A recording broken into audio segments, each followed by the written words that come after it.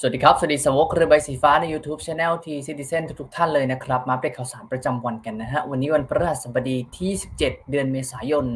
พศ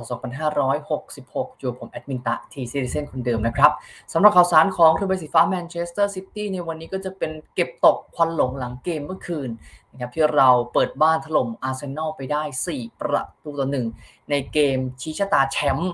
เรียกอย่างนั้นก็ได้นะครับทำให้ตอนนี้โชคชะตา แล้วก็โมเมนตัมในการคว้าแชมป์เนี่ยอยู่ในมือของแมนเชสเตอร์ซิตี้เป็นที่เรียบร้อยแล้วนะครับ เดี๋ยวมีบทสัมภาษณ์เป๊ปนะครับบทสัมภาษณ์นักเตะทั้งเควินเดอบรอยน์จอห์นสโตนส์แล้วก็สถานการณ์ในตารางคะแนนมาฝากกันนะครับ แต่ก่อนอื่นก่อนจะไปฟังคลิปไปฟังข่าวอย่าลืม กดไลค์กดแชร์กด Subscribe เพื่อเป็นกำลังใจที่ดีให้กันได้ รวมไปถึงมาเป็นครอบครัวเดียวกัน ครอบครัว T Citizen ครอบครัวเรือใบสีฟ้าสำหรับแฟนๆท่านไหนที่ไม่อยากพลาดคอนเทนต์ดีๆอย่าลืม กดกระดิ่งแจ้งเตือนเอาไว้ด้วยนะครับ แล้วก็ฝากถึงสปอนเซอร์ผู้ใหญ่ใจดีเนี่ยอยากจะลงสินค้าโฆษณาต่างๆ ก็ติดต่อมาที่ผมได้โดยตรงนะครับใน contact ที่ทิ้งไว้ใต้ description ของทุกคลิปทุกไลฟ์เลย สุดท้ายในการ support ช่องก็จะมีส่วนของทาง supporter membership นะครับ ตอนนี้มี 2 ระดับแล้ว 80 บาทกับ 150 บาท ก็สามารถเลือก support ช่องกันได้เลย รวมไปถึงช่องทางการ donate ต่างๆ ไม่ว่าจะเป็น super chat super thanks super sticker ก็ทำได้เช่นเดียวกันนะครับ ฝากเอาไว้ด้วย มาเรามาเริ่มคลิปข่าวสารประจำวันนี้กันนะครับก็ขอเริ่มด้วยผลสกอร์ก่อนก็แล้วกันนะครับสำหรับ เมื่อคืนที่เกิดขึ้นหลาย ๆ คนคงจะได้ตื่นขึ้นมารับชมแล้วก็ส่งแรงใจแรงเชียร์ให้กับทีมรักของเรา แล้วก็ทำได้สำเร็จนะครับแมนซิตี้ของเราเปิดบ้าน เอาชนะอาร์เซนอลไปได้ในเกมพรีเมียร์ลีกที่เรียกว่าเป็นแมตช์ตัดสินแชมป์ก็ได้นะพูดแบบนั้นกลายๆนะครับแต่ว่าเกมที่เหลืออยู่เนี่ยมันก็ยังสำคัญของทั้งซิตี้แล้วก็อาร์เซนอลในการคว้าแชมป์ซีซั่นนี้นั่นเอง แต่เกมเมื่อคืนซิตี้ชนะไปได้ 4-1 เราได้ประตูจากเควินเดอบรอยน์นะครับ2ลูกนะนาทีที่ 7 แล้วก็นาทีที่ 54 จากเดอบรอยน์จอห์นสโตนส์ยิงได้ 1 ประตูนะครับในช่วงก่อนจบครึ่งแรก นาทีที่ 45 บวก 1 ส่วนเออร์ลิงฮาแลนด์ก็มายิงปิดกล่องให้กับเรานาทีที่ 90 บวก 5 ส่วนอาร์เซนอลได้ประตูปลอบใจจากร็อบโฮลดิ้งในช่วงท้ายนะครับนาทีที่ 86 ภาพรวมเกมต่างๆเนี่ยต้องบอกว่าเป็นเกมที่ซิตี้ เบ็ดเสร็จเด็ดขาด อืม ครองเกมได้เบ็ดเสร็จเด็ดขาด พูดอย่างนี้ดีกว่า ไม่ว่าจะเป็นเรื่องการครองบอล การหาจังหวะเข้าทำการยิงตรงกรอบ การชนะการดวลอะไรต่างๆ ซิตี้ดีกว่าหมดนะครับ แล้วก็พูดไปในไลฟ์หลังเกมและใครอยากจะฟังเต็มๆ ก็สามารถไปฟังได้ ส่วนตัวผมมองว่าเกมนี้อาร์เซนอลถ้าจะหวังมาเก็บ 3 แต้มแล้วเล่นแบบเมื่อคืน ผมก็ย้ำอีกทีหนึ่งว่ามันไม่เพียงพอ นะครับในเรื่องของการสร้างแรงกดดันให้กับผู้เล่นซิตี้นะครับปล่อยให้เราเซตให้เราคิดกันมากเกินไปนะครับพอนักเตะพอทีมอาร์เซนอลเนี่ยโดนประตูขึ้นนำหนึ่งศูนย์เร็ว2 ศูนย์เนี่ยก็ดูความมั่นใจก็ถดถอยลงไป พอครึ่งหลังมาโดนอีกเร็ว 3 ศูนย์ก็ยิ่งจบเลยนะครับมันก็เลยเป็นเกมที่อาจจะดูไม่ได้เข้มข้นขนาดนั้นเหมือนตอนแรกที่ผมและแฟนๆ ซิตี้คิดเอาไว้รวมไปถึงแฟนอาร์เซนอลคิดเอาไว้ด้วยว่า มันอาจจะเป็นเกมที่ดุเดือดเข้มข้นมากกว่านี้นะครับแต่ว่าโดยภาพรวมเมื่อคืนแล้วเป็นฝั่งซิตี้ที่เหนือกว่าอย่างชัดเจนนะครับแล้วก็ชนะไปด้วยสกอร์ 4 ประตูต่อหนึ่งนั่นเองนะครับกลุ่มชะตาแชมป์ไว้ในมือได้นะครับตอนนี้ครับตารางคะแนนเนี่ยซิตี้เตะน้อยกว่าทั้งสองเกม แต่ว่าแต้มตามแค่ 2 แต้มนะครับถ้าหากเรา เก็บนัดที่ตกค้างได้ สมมติเราเตะ 33 เกม เท่ากับอาร์เซนอลตอนนี้นะ แล้วเราเก็บเกมที่เหลือได้อีก 6 แต้มเต็มเนี่ย เราจะนำอาร์เซนอลถึง 4 คะแนนนะครับ เพราะฉะนั้นตอนนี้เนี่ยโมเมนตัมชะตาแชมป์เนี่ยนะครับเรากลุ่มเอาไว้เรียบร้อยในมือแล้ว เหลือที่เหลือแค่ว่าเราจะเก็บนัดที่เหลืออีก 7 เกมได้หรือเปล่าเท่านั้นนะครับหลังเกมนะครับนักเตะก็แฮปปี้ดีด้านะครับนี่ เฮียแจ็คกับเออร์ริงฮาลันนะครับที่เมื่อเมื่อคืนกว่าจะยิงได้ต้องปล่อยผมก่อน ต้องเปลี่ยนเป็นร่างไซย่าก่อนถึงจะยิงได้นะก็ถ่ายรูปร่วมกัน แล้วก็นี่เล่นกับทางแบร์นาร์โดซิลวาแล้วก็รูเบนดีอาร์สด้วยนะครับเมื่อวานเนี่ยเมื่อคืนก็ต้องบอกว่าเป็นเกมที่ทั้งแกร่งนะซิตี้เนี่ยแกร่งทั้งรุกและทั้งรับจริง ๆ นะครับ ไม่ใช่แค่เกมรุก แต่เกมรับก็เหนียวแน่น อืม นะครับ แล้วก็นี่ถ่ายคู่กับพี่แบร์ด้วย แล้วก็มีแคปชั่นบอกว่า I follow you everywhere นะครับ ก็จะเป็นข้อความที่ใครสังเกตว่าก่อนก่อนตอนที่เดินลงสนามไปเนี่ยนะครับอัฒจันทร์เนี่ยนะครับที่นักเตะหันหน้าเข้าเนี่ยตอนที่เดินลงสนามก็จะมีเรียกว่าเป็น text ข้อความนะครับเรียกว่าเป็นจัดทำนะครับเพื่อแมตช์นี้นะครับเพื่อส่งกำลังใจให้กับนักเตะนั่นเอง นะครับก็เลยเอามาทำเป็นแคปชั่นด้วยสำหรับฮาแลนด์นะฮะแล้วก็นี่เลยนะครับมีแข้งเก่ามาเยือนถิ่นนะครับก็คือทางอเล็กซานเดอร์โครารอฟนะครับอดีตแบ็กซ้ายของเราก็มาชมเกมแล้วก็มาให้กำลังใจทีมเก่าของเขาด้วยนะถ่ายรูปร่วมกับสตาฟแล้วก็ฟิลโฟเดนด้วย ทีนี้มาในส่วนของบทสัมภาษณ์หลังเกมของกุนซือของเราอย่างเป๊ปกวาร์ดิโอล่านะครับเป๊ปกวาร์ดิโอล่านั้นชี้ว่าตอนนี้ ทีมอยู่ในจุดที่ตัวเองนั้นต้องการ หลังจากเปิดบ้านถล่มอาร์เซนอลเมื่อคืน 4-1 นะครับเป๊ปถูกถามว่าชอบอะไรในเกมที่เกิดขึ้น เป๊ปบอกว่าแน่นอนสำคัญสุดคือตำแหน่งของทีม แล้วก็ผมในตอนนี้นะฮะผมหวังว่า 2 เกมข้างหน้าเราจะเก็บได้ 6 แต้มเต็ม มันขึ้นอยู่กับเราแล้วตอนนี้จนถึงวันนี้ผมชอบ จริง ๆ ตำแหน่งของอาร์เซนอลเนี่ยก่อนจะถึงเกมเมื่อคืนเนี่ยตำแหน่งของอาร์เซนอลนั้นดีกว่าเรานะครับในทาง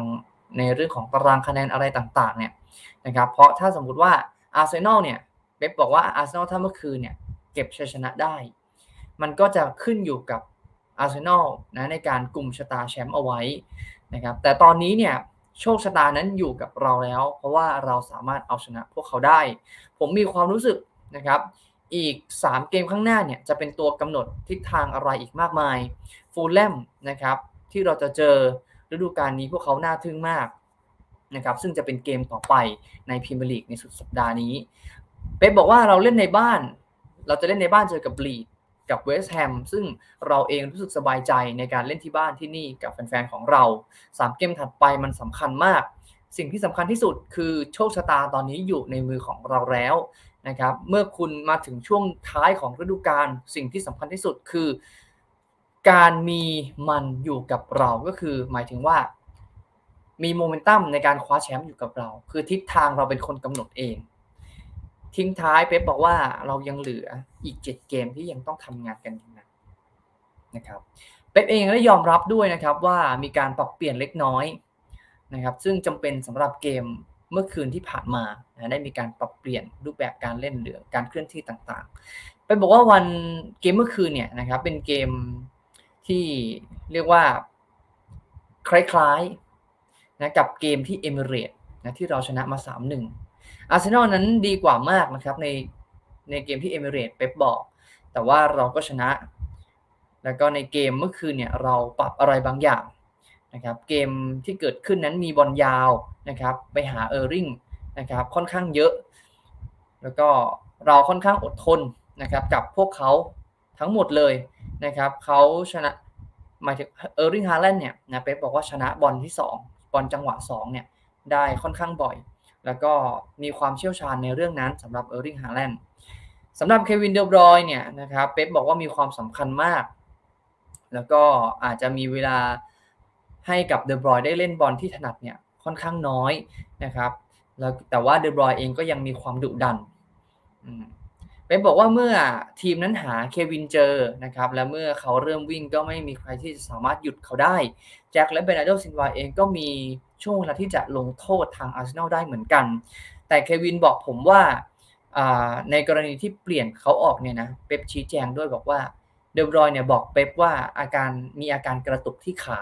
นะครับดังนั้นจึง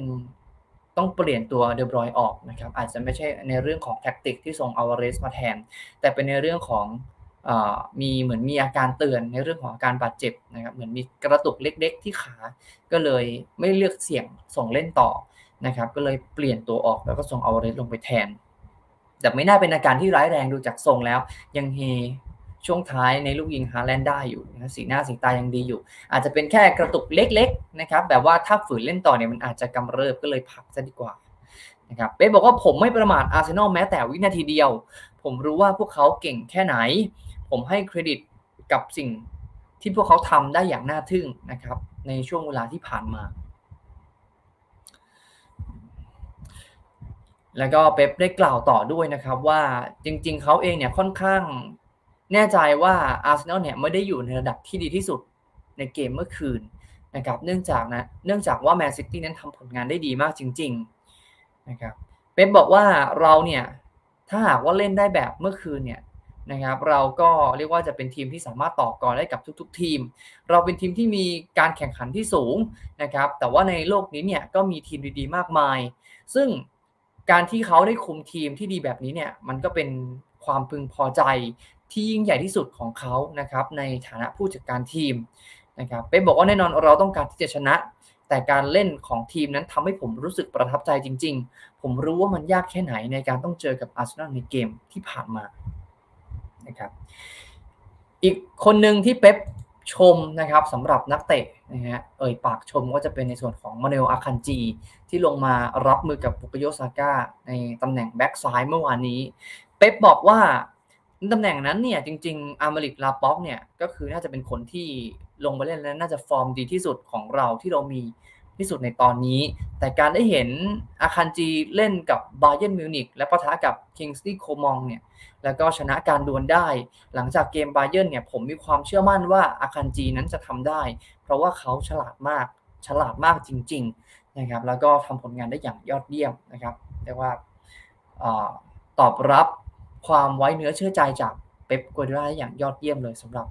มานูเอลอาคันจีนะเมื่อคืนนั้นสุดยอดจริง ๆ กล่าวชมจริง ๆ ต้องชมแนวรับของเราทั้งแผง ไม่ว่าจะเป็นดิอาสสโตนวอลเกอร์นะคือเก็บแนวรุกอาร์เซนอลที่ว่าร้อนแรงได้แบบอยู่หมัด ไม่ว่าจะเป็นบูกาโยซาก้ากาเบรียลเชซุสนะครับรวมไปถึงมาร์ติเนลลี่เนี่ยก็ไม่ได้แผลงฤทธิ์เลยนะครับโดนเก็บเข้ากระเป๋าแบบเรียบวุธเลย นะสำหรับแนวรับของเราทำงานได้อย่างยอดเยี่ยม อย่างที่บอกว่าดีทั้งรุกทั้งรับจริงๆซิตี้ในชั่วโมงนี้นะครับส่วนมิเกลอาร์เตต้านะครับก็ยอมรับสั้นๆเหมือนกันนะครับว่าซิตี้นั้นสมควรได้รับชัยชนะอาร์เตต้าเนี่ยบอกว่าแมนซิตี้ดีกว่า สมควรที่จะเป็นผู้ชนะ แล้วก็เราเองยังไม่เคยมีโอกาสที่จะชนะพวกเขาเลย เราต้องยอมรับสภาพและก็ทำใจยอมรับมัน นะครับก็ตามนั้นนะครับคือผมอย่างที่ผมย้ำอะว่ามันไม่พอจริง ๆ ถ้าอาร์เซนอลจะ เล่นแบบเมื่อคืนเนี่ยเราจะมาเอาสามแต้มเนี่ยผมบอกเลยว่าไม่พอ สร้างแรงกดดันให้กับซิตี้ได้น้อยมากจริง ๆ นะครับดูไม่ค่อยกล้าเสี่ยงเท่าไหร่ ในการเล่นไล่เพรสนะครับ พอไล่เพรสเราสูงลูกแรกแล้วโดนยิงเนี่ยก็ไม่กล้าอีกเลยนะครับ ซึ่งในเกมแบบนี้ผมผม ผมคิดว่าความสำคัญคือมันต้องแสดงความกล้าหาญในการเล่นมากกว่านี้นะครับ ถ้าหากว่าคุณจะมาลุ้นแชมป์กับทีมระดับซิตี้แบบเนี้ย ในเกมใหญ่แบบเนี้ยนะครับ อืมอันนี้คือพูดไม่ได้พูดแค่ในมุมมองแฟนบอลซิตี้นะพูดในมุมมองแฟนบอลอาร์เซนอลด้วย ผมคิดว่าน่าจะคิดเหมือนกันว่า มันควรจะมีจิตใจที่กล้าหาญและกล้าแลกวันนี้ถ้าอยากถ้าคุณอยากได้อะไรบางอย่างที่ยิ่งใหญ่เนี่ย ผมว่ามันอาจจะต้องกล้าแลกกว่านี้ ในส่วนของผู้จัดการทีมก็จบไปนะครับ ทีนี้มาฟังนักเตะกันบ้างนะครับ ความรู้สึกของนักเตะเป็นทางเควินเดอบรอยน์นะครับ ก็พี่บรอยน์เนี่ยชี้ว่าตอนนี้ทีมอยู่ในช่วงเวลาที่ดีที่สุด ฟอร์มดีที่สุดนะเดอบรอยน์บอกว่ารู้สึกยินดีนะครับ กับผลงานโดยรวมของทีมนะครับ ภายใต้ชัยชนะที่เกิดขึ้น4-1ที่ผ่านมา พี่เคฟบอกว่าอาร์เซนอลเนี่ย ก็เหมือนเล่นแมนทูแมนนะครับเหมือนประกบตัวต่อตัวเราเลยจำเป็นต้องใช้บอลยาวมากขึ้นอีกหน่อยนะครับ เพราะไม่มีที่ว่างสำหรับการจ่ายบอลสั้นๆ ครึ่งแรกเนี่ยเราทำได้ดีจริง ๆ เราน่าจะยิงได้มากกว่านี้ แต่โชคดีที่ประตูที่2ไม่ที่เกิดขึ้นจากสโตนเนี่ยมันไม่ใช่ลูกล้ำหน้า และมันก็เป็นประตูที่เปลี่ยนเกมเหมือนกัน ในครึ่งหลังเนี่ยเดอะบอยบอกว่าผมคิดว่าเราครองเกมได้ 50-50 เท่า ๆกับพวกเขาแหละ นะครับ แล้วก็ผมคิดว่าเราไม่เปิดโอกาสให้กับพวกเขามากมายนัก พวกเขาเป็นทีมที่มีคลาส มีระดับ และยากที่จะต่อกรด้วย เราต้องทำให้ดีที่สุดในวันนี้ และเราก็ทำได้แบบนั้น เราเล่นในรูปแบบที่แตกต่างออกไปเล็กน้อย วันนี้ผมมีอิสระมากขึ้นที่จะไปในที่ว่าง ขึ้นอยู่กับว่าใครเข้ามากดดัน แม้ว่าจะชนะนะครับ ในเกมสำคัญกับอาร์เซนอลที่ผ่านมาสิ่งหนึ่งเนี่ย แต่พี่บรอยก็ยังเชื่อว่างานของซิตี้นั้น ในลีกเนี่ยยังไม่จบ พี่เคฟเราบอกว่ามันยังเหลือเวลาอีกสักระยะมีจำนวนเกมที่ต้องเล่นอีกประมาณหนึ่งซึ่งมันจะยากมากๆ หลายสิ่งหลายอย่างสามารถเกิดขึ้นได้ มันยังเหลืออีก 7 เกม นั่นคือแต้มที่เยอะมากๆ และเรายังตามหลังพวกเขาอยู่ในปัจจุบันนะในตารางคะแนน ผมรู้จักทีมนี้และเราจะไม่ยอมแพ้จนกว่าทุกอย่างจะสิ้นสุดลง ตารางคะแนน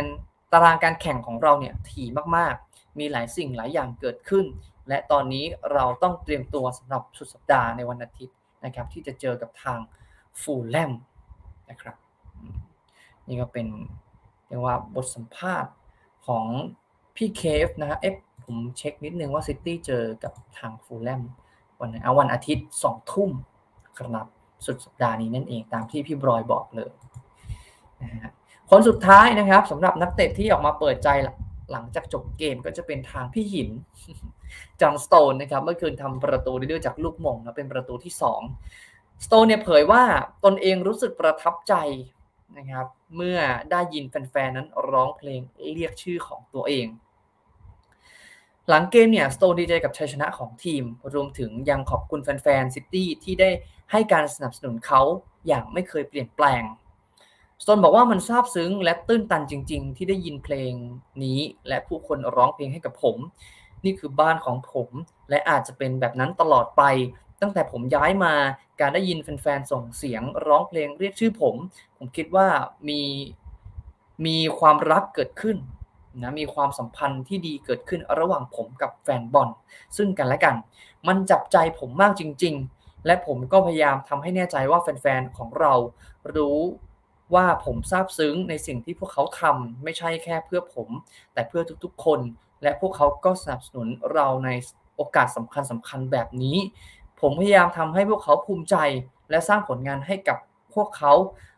ประตูของผมในวันนี้ผมมั่นใจว่ามันจะทำให้พวกเขากลับบ้านอย่างมีความสุขนะครับแน่นอนมีความสุขทุกคนนะเล่นดีกันทุกคนแต่แฟนเรือวันนี้เนี่ยบอกเลย happy เดินออกไปนี่เชิดเลยนะครับสุดยอดสำหรับฟอร์มการเล่นของเรือใบสีฟ้าเราณขณะนี้นะครับ แกร่งทั่วแผ่นทั้งรับทั้งรุกจริง ๆ ปิดท้ายกันที่โปรแกรมการแข่งขันของซิตี้นะครับ ก็จะลงทำศึกพรีเมียร์ลีกนัดต่อไปในวันอาทิตย์ที่ 30 เป็นนัดปิดท้ายเดือนนี้นะครับ เวลา 2 ทุ่มตรง เราจะออกไปเยือนฟูลแลมนะครับ ซึ่งจะเป็นเกมที่ 32 ของเรานั่นเอง ก็ติดตามรับชมรอเชียร์ส่งเสียงเชียร์ทีมรักกันได้ในช่วงสุดสัปดาห์นี้ นะครับซิตี้กำลังฟอร์มติดลมบนจริง ๆ นะครับ คือชนะแบบรัว